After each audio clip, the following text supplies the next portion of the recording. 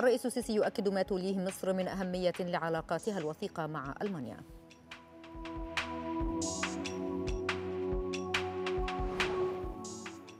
الولايات المتحدة تجلي موظفيها من شرق أوكرانيا وتحذر من غزو روسي وشيك.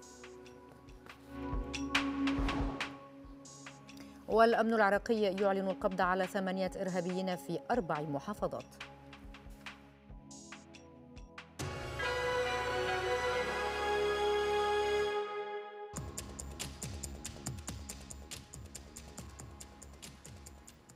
الثانية عشر ظهرا العاشرة بتوقيت جرينتش نشرة إخبارية مفصلة تأتيكم من القاهرة. مرحبا بكم.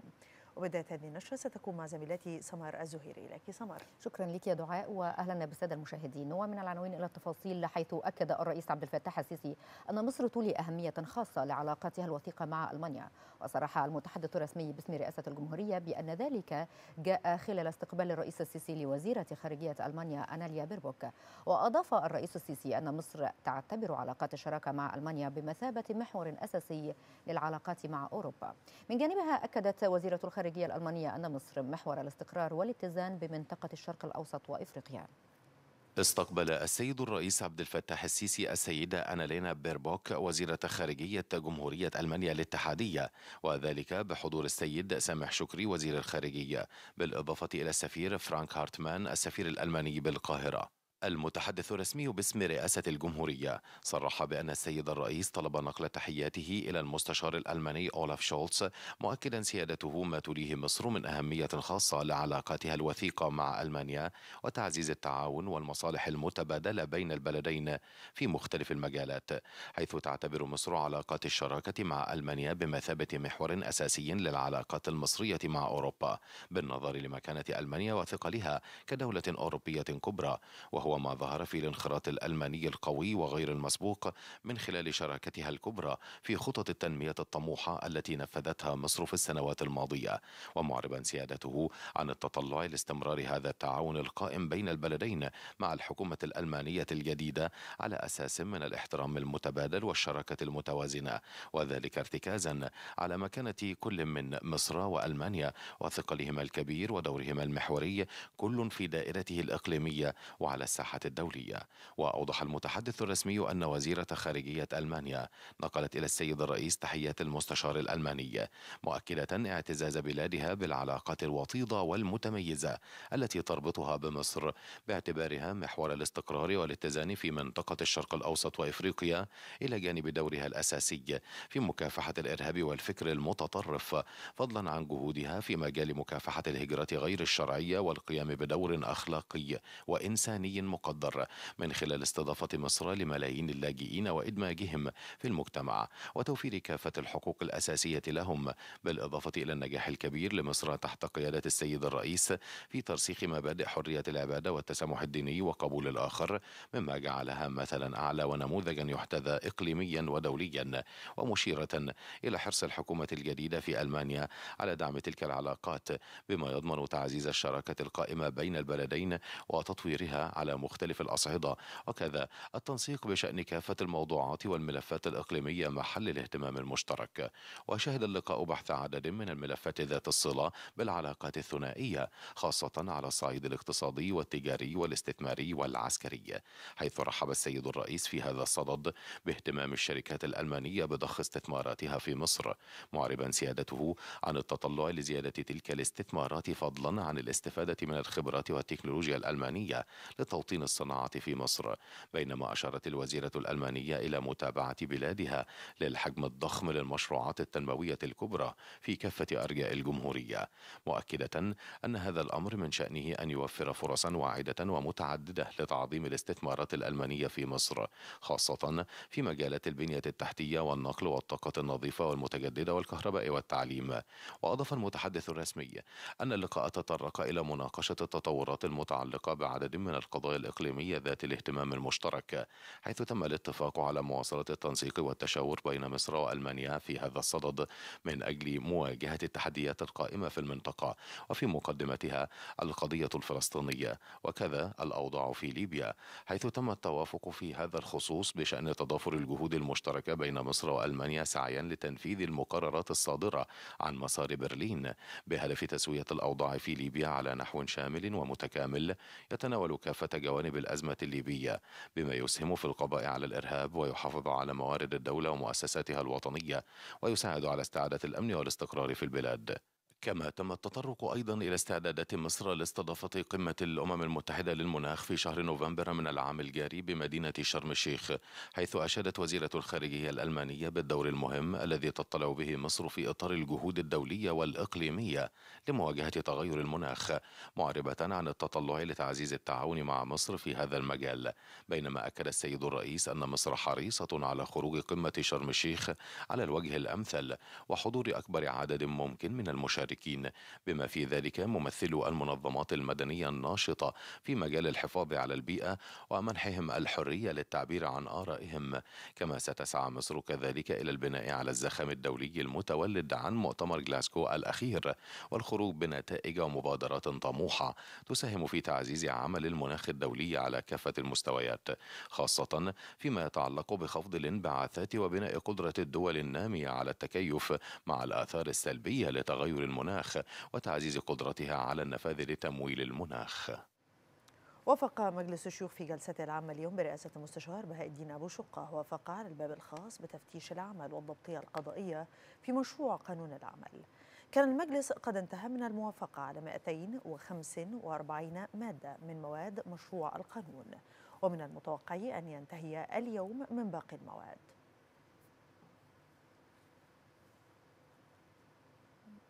يتوجه وزير الخارجية الرئيس المعين للدورة السابعة والعشرين لمؤتمر أطراف اتفاقية الأمم المتحدة الإطارية لتغير المناخ سامح شكري إلى مدينة بون الألمانية. وقال المتحدث باسم الخارجية السفير أحمد حافظ إنه من المقرر أن يتفقد شكري مقر الأمانة التنفيذية للاتفاقية فضلا عن عقد لقاءات مع مسؤوليها وذلك في إطار التحضير الجاري لاستضافة مصر للدورة السابعة والعشرين لمؤتمر أطراف اتفاقية الأمم المتحدة الإطارية لتغير المناخ.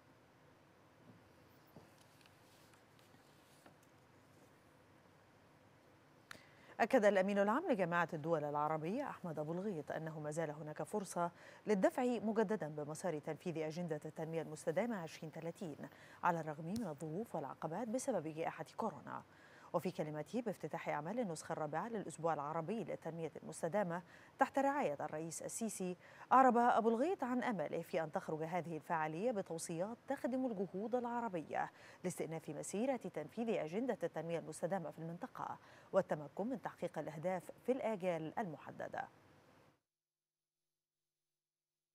أتمنى أن تخرج هذه الفعالية بتوصيات قوية تخدم الجهود العربية لاستئناف مسيرة تنفيذ أجندة التنمية المستدامة في المنطقة حتى تتمكن من تحقيق أهدافنا في الآجال المحددة.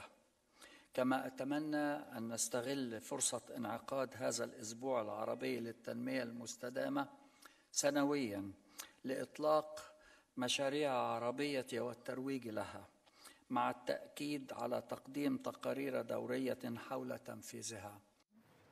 وخلال كلمته بأعمال النسخة الرابعة للأسبوع العربي للتنمية المستدامة أشار الأمين العام لجامعة الدول العربية أحمد أبو الغيط إلى أن المنطقة العربية ستحتضن قمتي المناخ لعامي 2022 و2023 في كل من مصر والإمارات. وسيتم خلالهما مناقشة الملفات المتعلقة بتقييم الخسائر الناجمة عن التغير المناخي والتعويض عنها وتوطين التكنولوجيا وتوفير الموارد المالية اللازمة لتمويل مشاريع التكيف المناخي. أود الإشارة إلى أن المنطقة العربية ستحتضن قمتي المناخ لعام 2022 و 2023 في كل من مصر والإمارات وسيتم خلالهما مناقشة مسائل في غاية الأهمية والإلحاح. بالنسبة للدول العربية. وأعني هنا الملفات المتعلقة بتقييم الخسائر الناجمة عن التغير المناخي والتعويض عنها وتوطين التكنولوجيا وتوفير الموارد المالية اللازمة لتمويل مشاريع التكيف المناخي. وأتمنى أن نستغل هذه الفرصة المهمة للدفاع عن المصالح العربية باعتبار المنطقة من أكثر المناطق تضررا بتغيرات المناخ. وفي ضوء أن أبنائها يدفعون ثمنا غاليا جراء هذه الظاهرة الخطيرة سواء فيما يتعلق بالأمن الغذائي أو الشح المائي أو غير ذلك من القضايا التي تؤثر على استقرار المجتمعات واستدامة التنمية.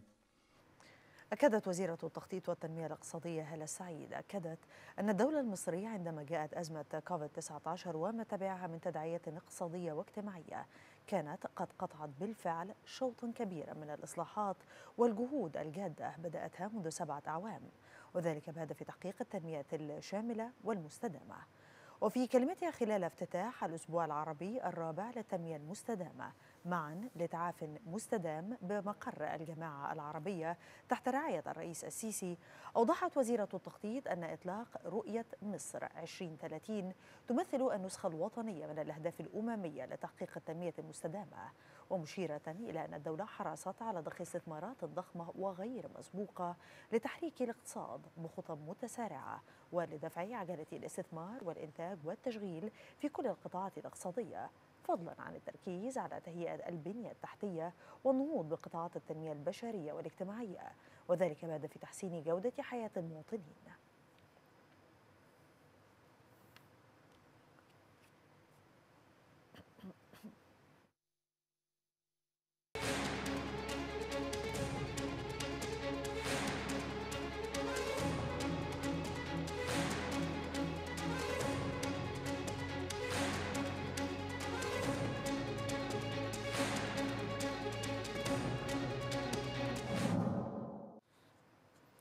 وإلى الأزمة الروسية الأوكرانية حيث أفادت وكالة رويترز للأنباء بأن الموظفين الأمريكيين في بعثة منظمة الأمن والتعاون الأوروبية بدأوا مغادرة شرق أوكرانيا. كانت تقارير أمريكية قد أفادت بأن الولايات المتحدة تخطط لسحب مراقبيها المحايدين من البعثة مع تدهور الحالة الأمنية. فيما أمرت وزارة الخارجية الأمريكية موظفيها غير ضروريين بمغادرة السفارة في العاصمة الأوكرانية كييف ووقف الخدمات القنصلية هناك.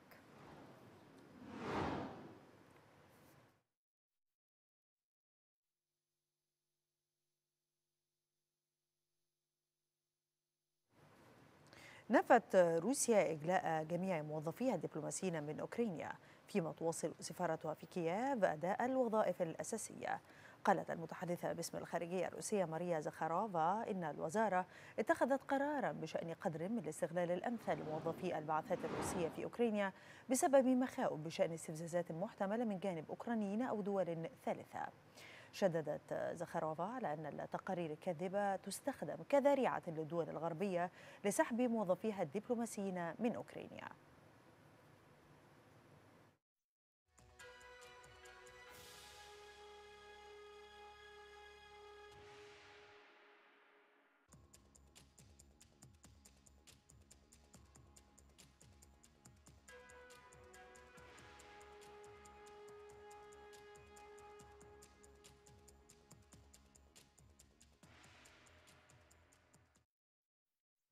اعتبرت المتحدثة باسم الخارجية الروسية ماريا زخروفا أن هدف هستيريا الغرب بشأن غزو روسيا المزعوم لأوكرانيا هو استفزاز.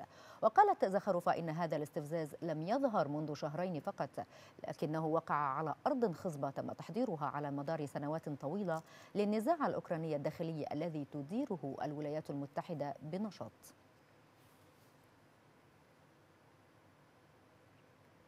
تواصل قوات من روسيا وبيلاروسيا مناوراتها العسكرية المشتركة والتي تحمل الاسم الرمزي قرار الاتحاد 2022 في مناطق تدريب الأسلحة المشتركة في بيلاروسيا.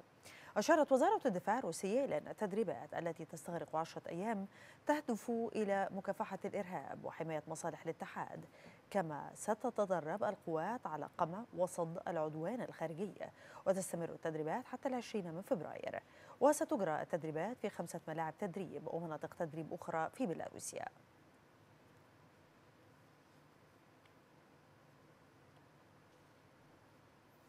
أفاد موقع سترانا دوت يو اي عن مصادره أنه اعتبارا من غد الاثنين سيكون المجال الجوي الأوكراني مغلقا عمليا أمام حركة الطيران بمبادرة من شركات التأمين التأمين الغربية عفوا. وأضاف أن أكبر شركات التأمين البريطانية التي تقوم بإعادة تأمين الشركات الدولية الأخرى بعثت برسالة رسمية إلى جميع الشركات المالكة للطائرات في العالم. نوهت فيها بأن التغطية التأمينية في أوكرانيا لأي طائرة ستتوقف عن العمل في غضون 48 ساعة. لذلك يجب على هذه الطائرات مغادرة أوكرانيا خلال هذه الفترة.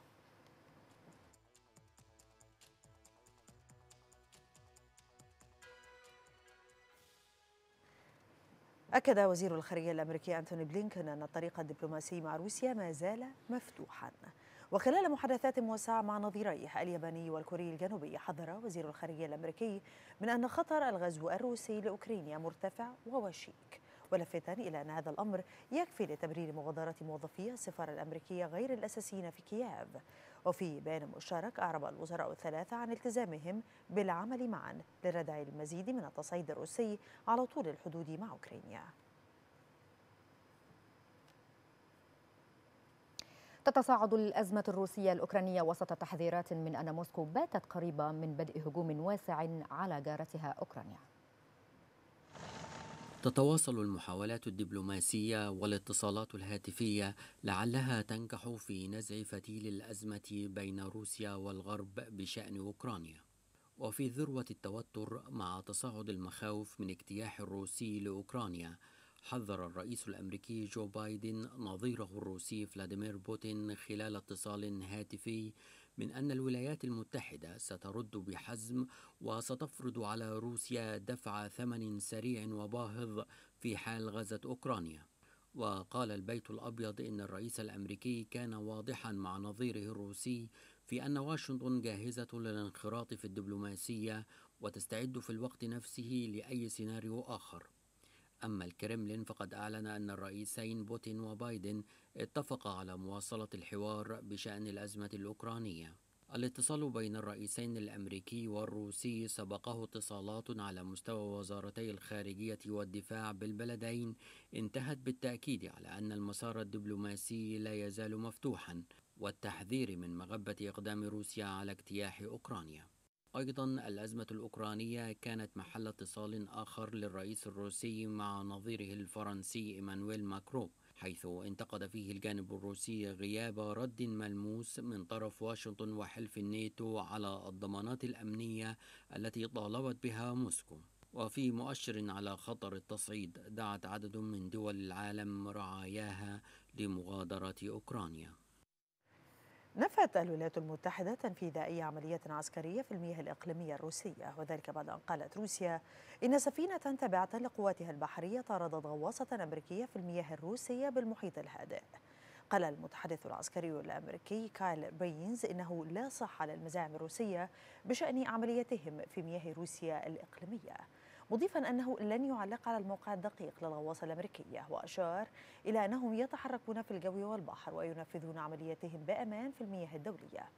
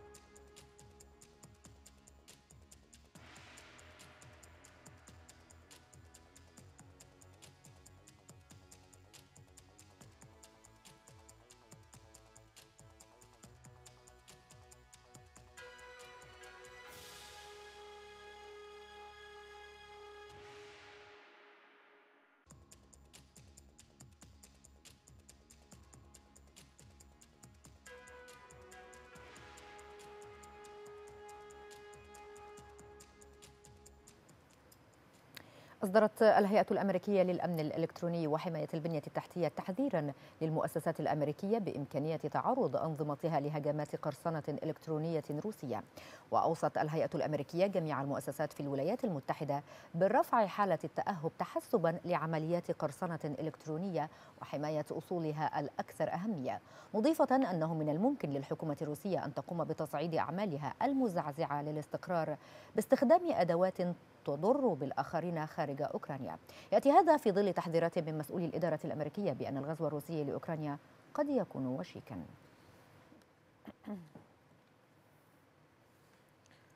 قال المتحدث باسم الرئاسة الروسية ديمتري بيسكوف إن منظمة الأمن والتعاون في أوروبا يجب أن تصبح منظمة شاملة وليس أداة ووسيلة تنفيذ.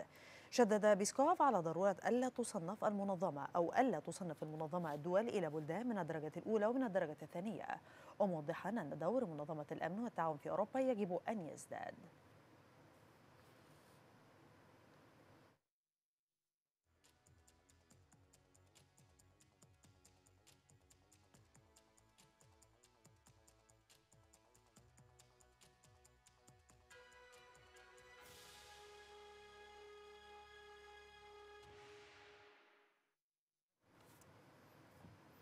أعلن رئيس الوزراء الأسترالي سكوت موريسون أن بلاده أعطت توجيهاتها لإجلاء جميع موظفي سفارتها المتبقين في كييف وسط استمرار توتر الوضع حول أوكرانيا. وأوضح موريسون أن الوضع يتدهور ويصل إلى مرحلة خطيرة جدا. فيما دعت وزيرة الخارجية الأسترالية ماريس باين الأستراليين إلى مغادرة أوكرانيا فورا محذرة من أن الظروف الأمنية قد تتغير في وقت قصير. يأتي قرار الإجلاء هذا في أعقاب قرارات مماثلة اتخذتها الولايات المتحدة وكندا وإثر مساع دبلوماسية مكثفة فشلت في تخفيف التوتر الإقليمي. أعلنت كندا عن إغلاق سفارتها مؤقتا في كييف ونقل أنشطتها إلى مكتب في مدينة الفيف على خلفية تدهور الأوضاع نتيجة لانتشار قوات روسية على الحدود الأوكرانية. قالت وزيرة الخارجية الكندية إن بلادها ستستأنف أنشطتها بالسفارة في كييف بمجرد أن يسمح لهم الوضع الأمني في أوكرانيا بضمان خدمات مناسبة وتأمين ملائم لموظفيهم ومشددة على الكنديين بضرورة تجنب السفر إلى أوكرانيا فيما حثت الموجودين حاليا بالأراضي الأوكرانية على المغادرة.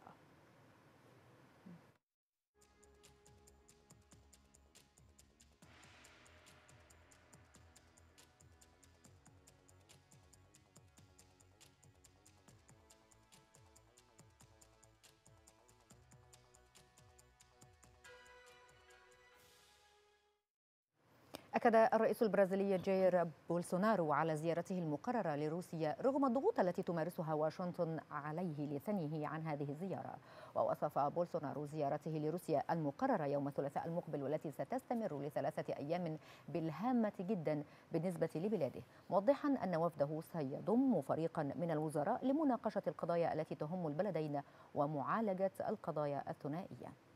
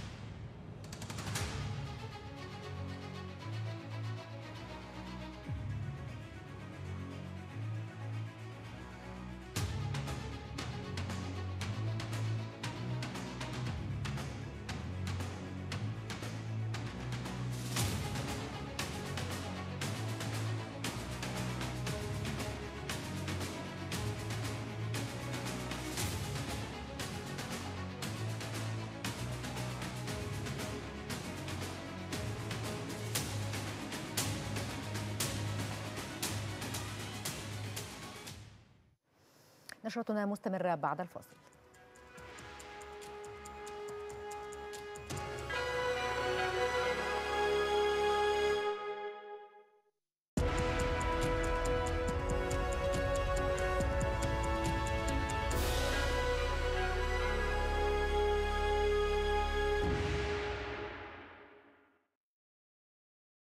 أنا مش فاهم إيه الكلام ده.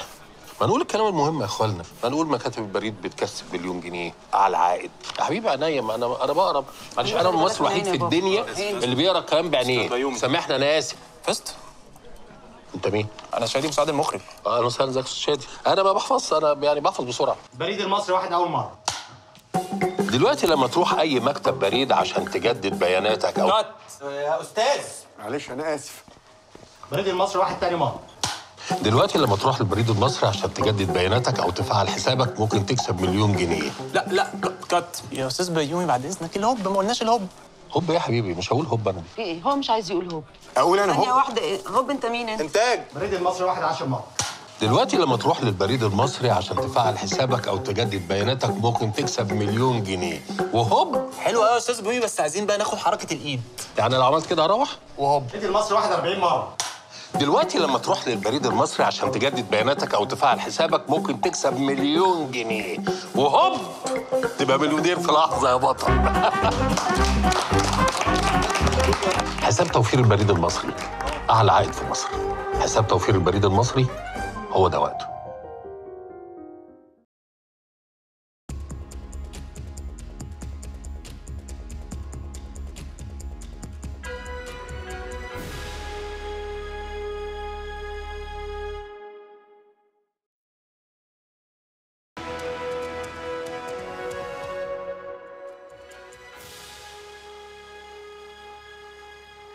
أهلا بحضراتكم من جديد.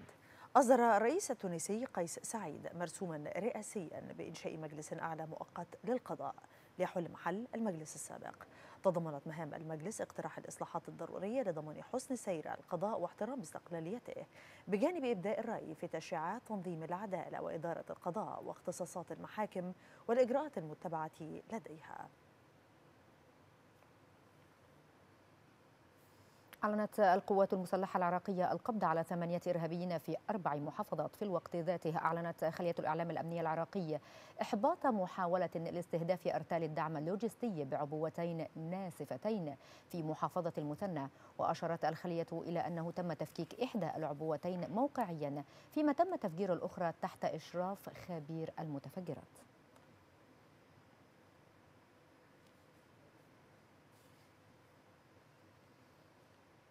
تنعقد اليوم الجمعية الاتحادية الألمانية لانتخاب رئيس للبلاد. ومن المتوقع فوز الرئيس الحالي فرانك فالتر شتاينماير بفترة ولاية ثانية حيث حصل على دعم الأحزاب الثلاثة المشاركة في الائتلاف الحاكم قبل أسابيع من الانتخابات.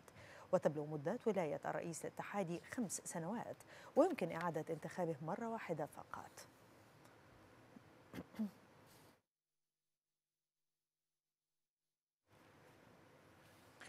ولمزيد من المتابعة ينضم إلينا الآن من برلين محمد خفاجي الكاتب الصحفي. أستاذ محمد بعد التحية هل فوز شتاينماير أصبح محسوما في الوقت الحالي طالما أنه حصل على دعم الأحزاب الثلاثة؟ نعم. تحية لكم ولجميع المشاهدين. عفوا. تفضل فضل. طبعا انتخاب الرئيس شتاينماير بالتأكيد أصبح شبه محرز فوزه. خصوصا وأن أيضا بعض أحزاب المعارضة كحزب الاتحاد الديمقراطي المسيحي أيضا أعلن أنه سي يعني يؤيد إعادة انتخاب شتاينماير. وهنالك أيضا الكثير من ممثلي الولايات الستة عشر الذين سيحضرون إلى الانتخابات. أيضا هنالك الكثير منهم من سيؤيد إعادة انتخاب شتاينماير. كما تعلمون أن الذين سيحضرون اليوم هم ما يقارب ال 1400 أو أكثر من 1400 1470 شخص لانتخاب الرئيس. فلذلك ال يعني التوقعات ترجح فوزه أو تقريبا أصبحت المسألة شبه محسومة بعد حصوله على تأييد كبير في البرلمان الاتحادي. حتى الحزب اليساري الذي لديه مرشحا تحدث اليوم رئيس الحزب وقال نحن نعلم أن ال ال يعني رئيس شتاينماير حظوظه الأعلى في الفوز لكننا نريد أن نمارس حقنا في الديمقراطية ونرشح من نراه ممكن أن يكون بديلا للرئيس شتاينماير فلذلك يعني اليوم المساله شبه محسوم. نعم. نعم يعني فكرة أن يجد في الأمور أمور هذا تقريبا بعيد جدا. إذا نتحول إلى نقطة أخرى. أبرز الأمور أو النقاط التي تم التوافق عليها فيما يتعلق بإعادة انتخاب شتاينماير مرة أخرى من قبل الأحزاب. نعم يعني ربما كما تعلمون أن عفوا منصب رئيس الجمهورية في ألمانيا هو أكثر هو منصب فخري أكثر من هو منصب تنفيذي.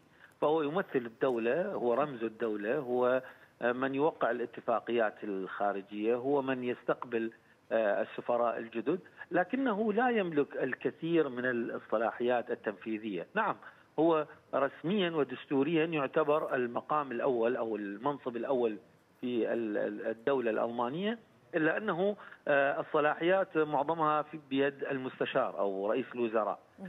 لكنه مع ذلك هو يعتبر منصب مهم جدا يعتبر له رمزية مهمة جدا يعني علاقته مع الشعب بحضوره مع الشعب في مناسباته في جميع المناسبات المهمة. مثلا حقيقة إحدى الأمور التي تجعل ربما انتخاب شتاينماير يعني مرغوب به من أغلب الأحزاب حتى المعارضة كونه كان له دور إيجابي جدا في يعني خلال فترة جائحة كورونا وكان لديه الكثير من الخطابات والتوجيهات والحديث مع الشعب في هذا المجال والتقى الكثير من الناس وكان يحضر الكثير من التجمعات ليشرح لهم حول خطورة هذا الوباء وكيف يتم التعامل معه نعم. ويدعم خطوات الدولة والحكومة في هذا المجال نعم. فحقيقة دوره الفعال هذا هو ربما من رجح إعادة انتخابي.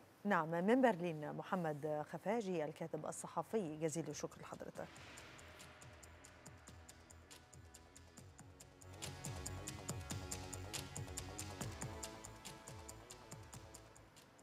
أعلنت وزارة الصحة تسجيل 2145 حالة جديدة ثبتت إيجابية تحاليلها لفيروس كورونا ومتحوراته ووفاة 59 حالة هذا وأشارت وزارة الصحة إلى خروج 1232 متعافيا من المستشفيات بعد تلقيهم الرعاية الطبية اللازمة وتمام شفائهم.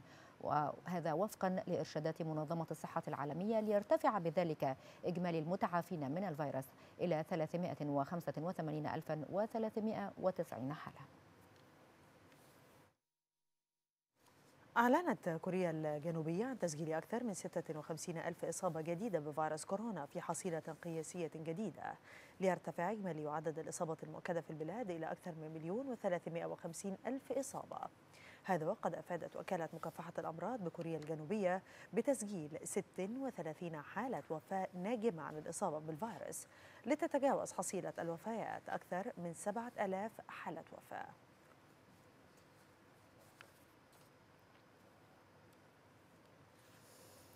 أعلنت جامعة جونز هوبكنز الأمريكية ارتفاع إجمالي الإصابات المؤكدة بفيروس كورونا المستجد حول العالم إلى أكثر من 410 ملايين حالة. وأشارت الجامعة إلى أن إجمالي الوفيات جراء الإصابة بالفيروس حول العالم ارتفع إلى أكثر من 5 ملايين حالة وفاة. موضحة أن الولايات المتحدة سجلت أكبر عدد من حالات الإصابة حول العالم في حين احتلت الهند المرتبة الثانية تليها البرازيل من حيث حالات الإصابة.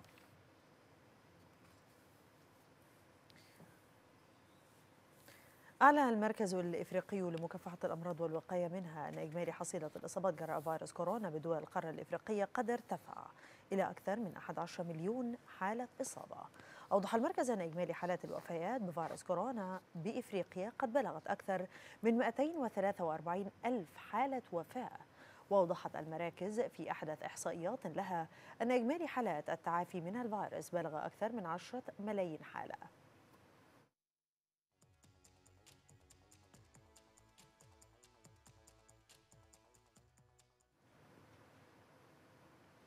جدد الرئيس الاندونيسي جوكو ويدودو دعوته لجميع المواطنين بالحفاظ على الهدوء والانضباط في تنفيذ البروتوكولات الصحية الحكومية للحد من انتشار فيروس كورونا. وحث ويدودو المواطنين بتقليل أنشطتهم غير ضرورية في خضم النمو المتسارع لحالات متحور أوميكرون. فيما نصح غير الملقحين بضرورة التطعيم على الفور. جاء هذا في الوقت الذي سجلت فيه السلطات الصحية الإندونيسية 55209 إصابات جديدة بفيروس كورونا.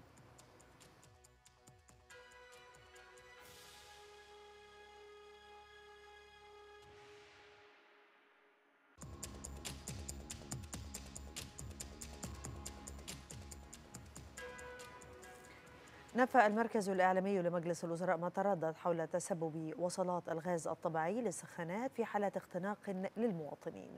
قام المركز بالتواصل مع وزارة البترول والثروة المعدنية والتي أكدت على سلامة وجودة كافة توصيلات الغاز الطبيعي بالمنازل وعلى مطابقتها لكافة معايير الأمان العالمية مشيرة إلى أن الغاز الطبيعي غير سام وله رائحة مميزة تكتشف عند التسريب.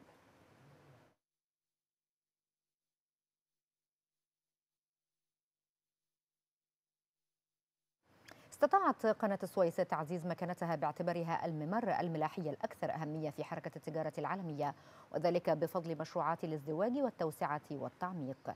المزيد بشأن أداء قناة السويس تستعرضه لنا الزميلة إيمان الحويزي.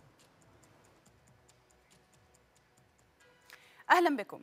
مكانة متميزة تحظى بها قناة السويس أهلتها لتكون الممر الملاحي الأكثر أهمية في حركة التجارة العالمية. وحرصت الدولة على تدعيم تلك المكانة عبر استراتيجية تهدف لتطوير القناة ومجراها الملاحي وجميع مرافقها وتعزيز قدراتها ورفع كفاءتها بما يتلائم مع تطور حركة التجارة في العالم. وبما يعظم مكانتها من معبر تجاري إلى مركز صناعي ولوجستي عالمي. وأثمرت هذه الاستراتيجية عن حدوث طفرة في معدل إيرادات القناة وعدد السفن العابرة فيها. فالقناة حققت خلال عام 2021 أعلى إيراد سنوي في تاريخها والذي بلغ 6 مليارات و300 مليون دولار. كما شهدت القناة خلال العام نفسه مرور 20700 سفينة بحمولة صافية تزن 1270 مليون طن. وهي أعلى حمولة صافية في تاريخ القناة أيضاً. كما حققت القناة أرقاما قياسية في 2021 حيث زاد حجم التجارة العالمية المرة عبر القناة بنسبة 8.5% كما سجلت حركة الملاحة بالقناة أعلى حمولة شهرية في تاريخها بحجم 112 مليون طن. فضلا عن تحقيق حركة الملاحة أعلى إيراد يومي منذ جائحة كورونا وقدره 30 مليون و400 ألف دولار. سفينة الحاويات العملاقة إيفر A C E التي تعد أكبر سفينة حاويات في العالم كانت أبرز السفن العابرة للقناة خلال عام 2021 حيث عبرت خلال شهر أغسطس في أولى رحلاتها البحرية ضمن قافلة الجنوب بالمجرى الملاحي الجديد للقناة. كما شهدت القناة في الشهر ذاته عبور السفينة جلوبال ميرسي والتي تعد أكبر وأحدث مستشفى ميداني عائم في العالم. وبشأن جهود تعزيز دور المنطقة الاقتصادية لقناة السويس كمركز لوجستي وعالمي محوري في حركة التجارة العالمية فقد بلغ إجمالي تكلفة البنية التحتية والاستثمارية للمنطقة نحو 18 مليار دولار. وفرت 100 ألف فرصة عمل مباشرة. كما تم إنشاء 250 منشأة صناعية وخدمية في مجالات مختلفة وصناعات حيوية مهمة. وإقامة شراكات مع 14 مطورا صناعيا داخل المنطقة. وحظيت قناة السويس ومنطقتها الاقتصادية بإشادات عالمية حيث توقع صندوق النقد الدولي زيادة إيرادات القناة خلال السنوات المقبلة لتسجل 6.6 من عشرة مليار دولار. كما توقعت الإيكونوميست أن تستمر القناة في تحقيق فائض قوي كنسبة من الناتج المحلي الإجمالي.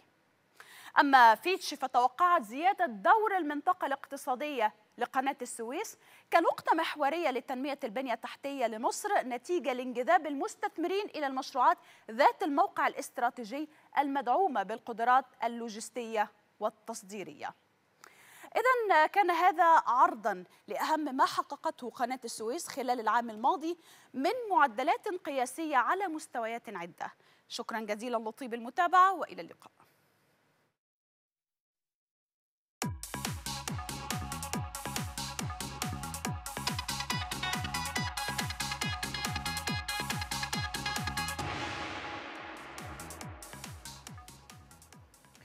وإلى الأخبار الاقتصادية فقد ترأس وزير الري محمد عبد العاطي الاجتماع الأول للجنة العلمية لاسبوع القاهرة الخامس للمياه وذلك لمناقشة الترتيبات اللازمة لعقده في شهر أكتوبر المقبل.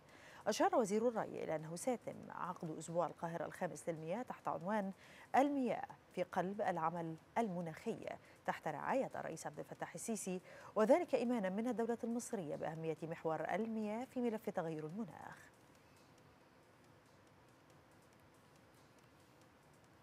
تواصل الدولة جهود جذب المزيد من الاستثمارات الأجنبية بالعديد من المجالات ما أسهم في جعلها ضمن أفضل عشر وجهات استثمارية في القارة الإفريقية. المزيد نتابعه في العرض التالي والزميلة إيمان الحويزي أهلا بكم. اتخذت الحكومة سياسات مرنة حكيمة حول تعديل تشريعات الاستثمار وتهيئة مناخ الأعمال لجذب المزيد من الاستثمارات. هذه السياسات أسهمت في تضاعف تدفقات الاستثمار الأجنبي المباشر إلى مصر من 4 مليارات و600 مليون دولار في عام 2014 إلى نحو 9 مليارات دولار في 2019 وبفضل جهود الدولة نحو تحسين بيئة الأعمال رشح الموقع الأمريكي بيزنس إنسايدر مصر ضمن قائمته لأفضل عشرة وجهات استثمارية في القارة الأفريقية. ما يبرز مدى التطور الذي وصلته مسيرة التنمية في البلاد ومن مؤسسات دولية تتسم بالمصداقية والشفافية. وتعد مصر الآن واحدة من أغنى الدول الأفريقية من حيث إجمالي الناتج المحلي عن عام 2021 حيث تمتلك ثاني أعلى ناتج محلي إجمالي في القارة بقيمة 394 مليار دولار. وذلك رغم الآثار الاقتصادية السلبية الناتجة عن انتشار فيروس كورونا. بفضل تمتع البلاد باقتصاد متنوع يعتمد على صادرات الوقود الأحفوري والأنشطة الزراعية والسياحية. ووصف الموقع الأمريكي بيزنس إنسايدر الاقتصاد المصري بالمثالي للمستثمرين. هذا ما وصف به بعد نجاح برنامج الإصلاح الاقتصادي في دعم البلاد في مواجهة آثار جائحة كورونا حيث استطاعت أن تحتل المركز الثالث بين أكبر خمسة اقتصاديات عربية لعام 2021 كما أنه من المتوقع أن يرتفع الناتج المحلي الإجمالي المصري بنحو 32 مليار دولار خلال العام المالي الجاري. وكان تقرير الاستثمار العالمي عن عام 2020 والصادر عن مؤتمر الأمم المتحدة للتجارة والتنمية أونكاتاد قد أكد أن مصر حافظت على مكانتها كوجهة أولى للاستثمار الأجنبي المباشر في أفريقيا بفضل الإصلاحات الاقتصادية التي أسهمت في استقرار الاقتصاد الكلي وتعزيز ثقة المستثمرين في البلاد. إذا كان هذا عرضا لأبرز جهود الدولة لجذب الاستثمارات الأجنبية ما أسهم في جعلها ضمن أفضل عشرة وجهات استثمارية في القارة الأفريقية. شكرا لطيب المتابعة وإلى اللقاء. استقرت أسعار العملات الأجنبية أمام الجنيه المصري خلال تعاملات اليوم مع استقرار العملات العربية. استقر الجنيه المصري أمام الدولار الأمريكي بقيمة 15 جنيه و64 قرش للشراء. و15 جنيه و77 قرش للبيع. كما استقر الجنيه أمام الريال السعودي بقيمة 4 جنيهات و17 قرش للشراء و4 جنيهات و20 قرشا للبيع.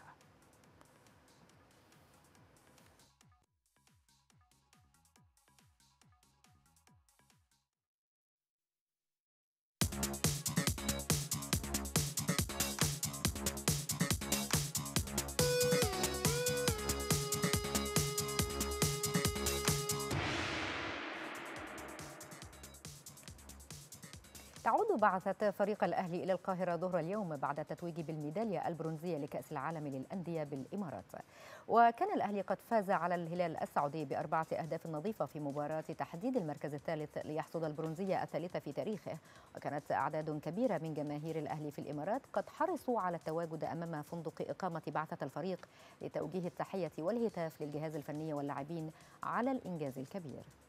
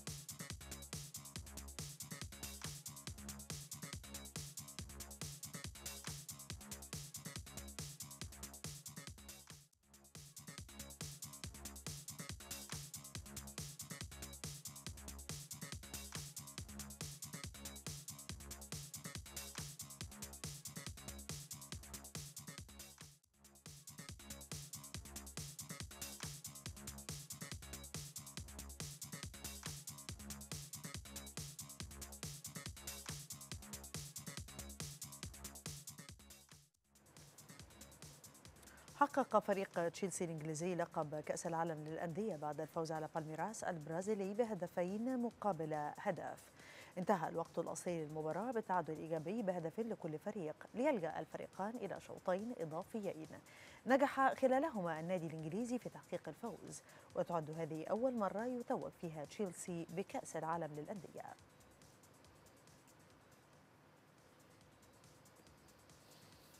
هذا وتعادل الزمالك مع ضيفه بترو أتلتيكو الأنجولي بهدفين لكل منهما ضمن الجولة الأولى للمجموعة الرابعة ببطولة دوري أبطال إفريقيا. تقدم بترو أتلتيكو في الدقيقة الثانية والعشرين ثم أضاف الهدف الثاني في الدقيقة السادسة والثلاثين ثم قلص الزمالك النتيجة بهدف عن طريق يوسف أوباما في الدقيقة السابعة والخمسين. وفي الدقيقة الأخيرة من المباراة أدرك الأبيض التعادل عن طريق محمود الونش ليحصد الفريقان النقطة الأولى لهما.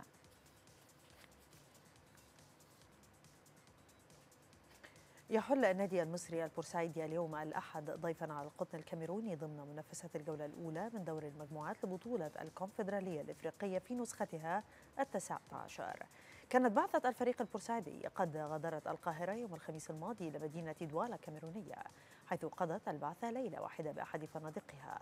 خضع الفريق لتدريبات استشفائية وبعض التدريبات الخفيفة قبل التوجه إلى جاروا.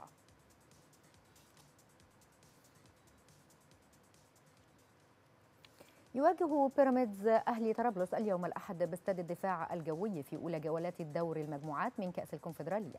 كان بيراميدز خاض تجربة ودية أمام إسترن كومباني وحقق الفوز بأربعة أهداف مقابل هدف وحيد.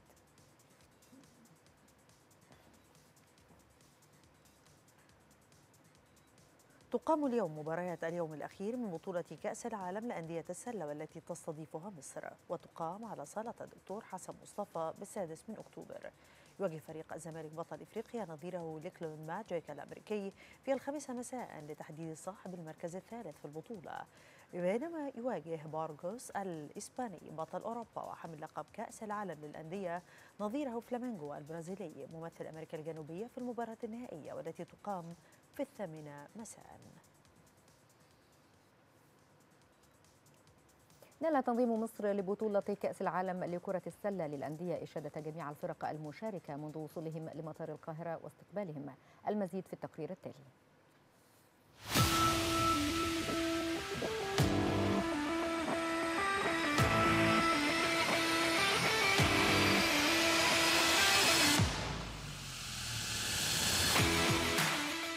إشادات واسعة نالتها مصر بتنظيم بطولة كأس العالم لكرة السلة للأندية والتي انطلقت بصالة حسن مصطفى وتستمر حتى الثالث عشر من فبراير الجاري. مسؤول الفرق المشاركة أشادوا بحسن الاستقبال والتنظيم مؤكدين قدرة مصر على تنظيم الأحداث الكبرى في مختلف الرياضات. خاصة أنها لأول مرة تستضيف هذا الحدث الدولي الكبير. كما نال استعداد مصر لتنظيم هذا الحدث الكبير اهتمام وإعجاب الكثير من المتابعين لكرة السلة حول العالم وعبرت الوفود المشاركة في البطولة عن سعادتها بالاستعداد الجيد من جانب مصر لهذا الحدث.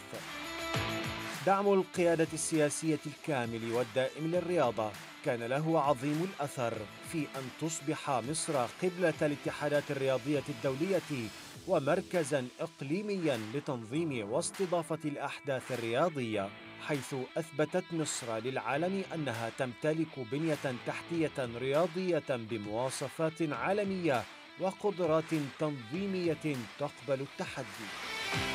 مونديال الأندية لكرة السلة. خطف الأنظار من أحداث رياضية كثيرة على الساحة المحلية والعربية والعالمية حيث يشهد مشاركة نادي الزمالك لأول مرة في تاريخه وتاريخ الأندية المصرية بصفته بطل قارة أفريقيا بعد تتويجه بلقب بطولة أفريقيا للأندية.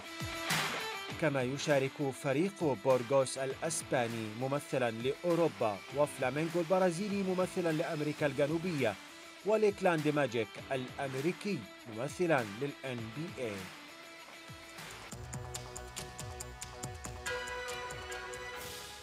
يحتفي العالم اليوم باليوم العالمي للإذاعة والذي يركز على إبراز دور الإذاعات في العالم وتحقيق أهدافها القائمة على إيصال صوت المجتمعات والشعوب. كان البث الإذاعي في مصر قد انطلق في مايو عام 1934 بأربع محطات والمزيد في هذا العرض.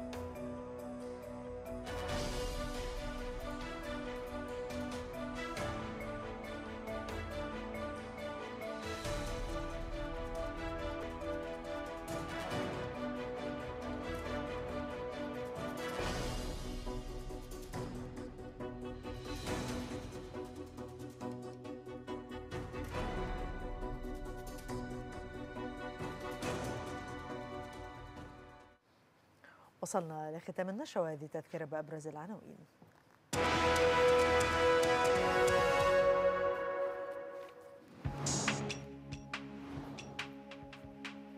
الرئيس السيسي يؤكد ما تريه مصر من أهمية لعلاقتها الوثيقة مع ألمانيا.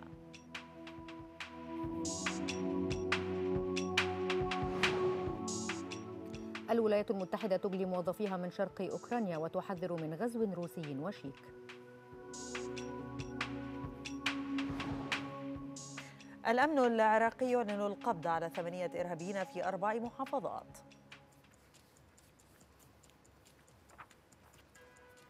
لمزيد من الأخبار يمكنكم متابعة موقعنا على الإنترنت اكسترا نيوز dot TV كما يمكنكم متابعتنا على مواقع التواصل الاجتماعي فيسبوك تويتر انستغرام يوتيوب شكرا على طيب المتابعة. قدمت هذه النشرة إليكم الزميلة دعاء جاد الحق وهذه تحياتي أنا سمر الزهيري. إلى اللقاء.